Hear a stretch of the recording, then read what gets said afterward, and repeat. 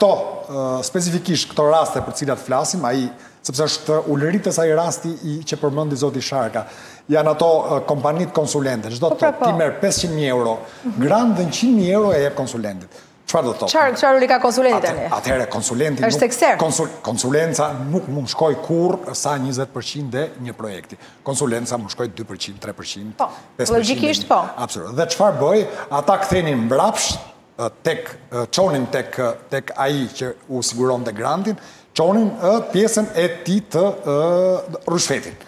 Me e thënë më qartë, që do të thotë kuptojmë edhe sa është marrë nga këto, sa është vjedhur nga këto grante. Që do të thotë 500.000, 400.000 ka mbajtur fermeri për ato ë investimet, ndërkohë që 100.000 ë i ka çuar tek personi që i ka siguruar grantin. Por informacioni im shtyhet edhe më tepër se kaq dhe ka shumë mundësi që kjo të jetë edhe të jetë edhe subjekt hetimi i SPAK, nuk shkon në njëzet në njëzet për qind pjesa e ryshfetit.